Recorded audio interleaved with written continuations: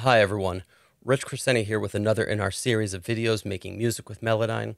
And today is part five of our series outlining the further integration of Pro Tools and Melodyne using ARA.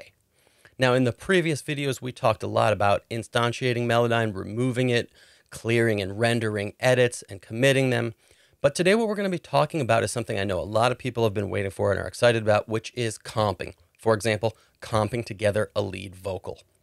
Now, prior to Melodyne with ARA, the process of comping your lead vocal and tuning and timing had to be two separate processes, right? You had to comp the lead vocal and then go through and do any tuning and timing because of the way that Melodyne was put on a track as a plugin. But now with this new tight integration, our process of comping and selecting the lead vocal takes and going through and tuning and timing can all be one smooth continuous process right here. It's going to make things a lot easier. So let's dive in and take a look. I've got this lead vocal right here that I'm going to be comping and tuning from today, and we can see this. And the first thing I want to do is put Melodyne on this the same as I would any other track. I'll right click and then come over here to where it says Melodyne and hit edit. And this will take a second to analyze the track, but there we see that right there, and we see that we've got the entire track on there. So we've also got over here lead vocal one, right? And then alt one and alt two. I've got alternate takes right here that I'm going to be comping from. So instead of looking at waveform, I'm going to want to look at playlists.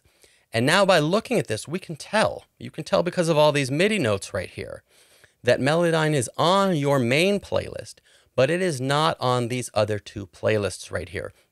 And this is the first part that's really important. If I right click on this and come to Melodyne, you'll see that edit is not an option.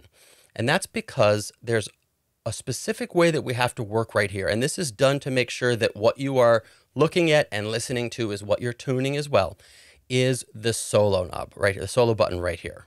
When you click this solo button, now we can put Melodyne on, right? This will heavily focus on whatever one of these playlists is soloed.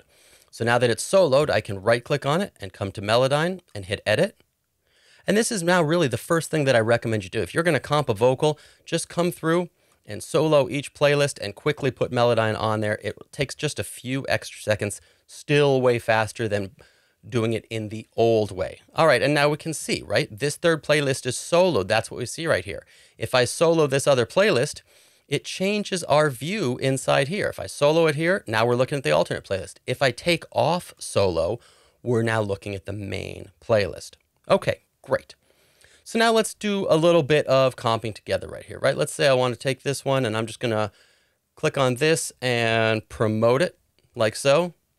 And then I'll come over here to this take and take that one and promote that as well. And then I'll just do one more from right over here and promote this like so. All right. So now what we've done is I've sort of comped together a, a little bit of a vocal take right there. Now I want to show you something that I think is really cool.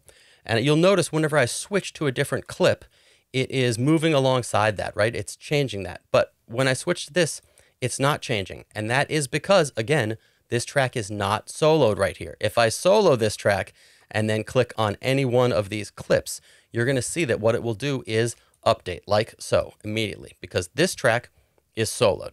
All right, so I'm going to unsolo this and come back to our main playlist right up here. And I'm going to turn off the zoom to selection in DAW. This is probably one of the only times I'm going to turn this off. And that's because I really want to be able to see the boundaries in between clips. You'll see these thick black lines right here, right? Those thick black lines are the borders between clips. You can turn this off right here if you want. I'm going to leave this on because I like having these on.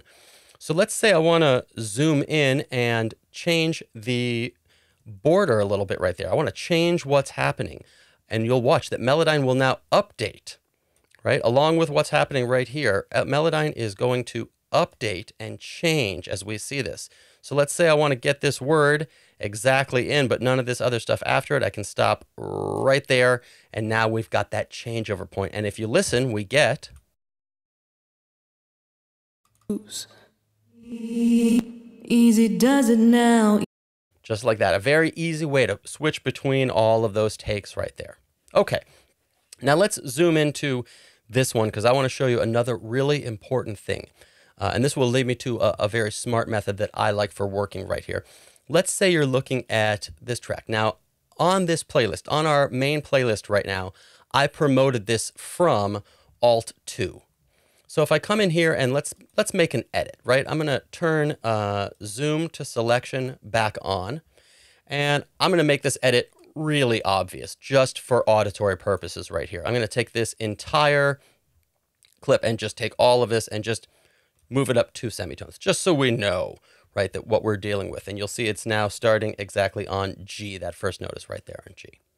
Okay, so maybe now we come through here and I uh, I want to like listen to one of the other playlists and see. Maybe I'll swap this out. So I'm going to come down here and if I solo this one, we'll listen to it. And the motion, so now they can feel. Let's say I like this one better, right? So I go ahead and I promote it. Now that I've moved this up there, I can unsolo this and go back and we'll hear this in the main playlist right there. And the motion, so now. Okay, great. Now let's say I came back here to this one again and I was like, you know what? I think that I actually would rather have this one. I change my mind and I go back. I'll promote this again. But now when we look at it, you'll see that note was not moved up to the G. We lost all of those edits because we promoted over this. And this is the way that Pro Tools works entirely. If any one single clip is entirely removed or covered up, it disappears from the session. So let me show you a way that I like to work. If I'm going to be working in comping together vocals, this is the way that I prefer. The first thing that I'm going to do is I'm going to come over here to my playlists and I'm going to create a new playlist. And I'm going to call this my comp playlist.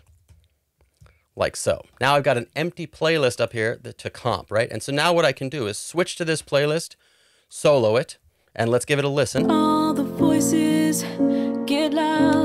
All right, so I, I like this one and I want to do some edits. I can just come through here and I'll note, put that note there. I'll double click on that one. I'll move this note here and maybe I'll change the, the timing of this right here. Maybe I'll double click on this note. I've made some light edits. Now what I can do is promote this one to my comp track. And now no matter what happens later on, if I accidentally promote this one, right?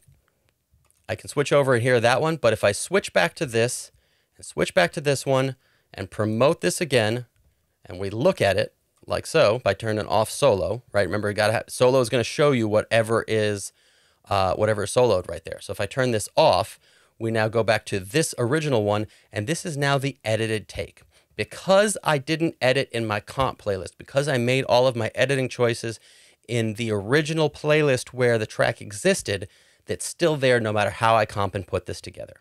Hope you've enjoyed this today. Thanks.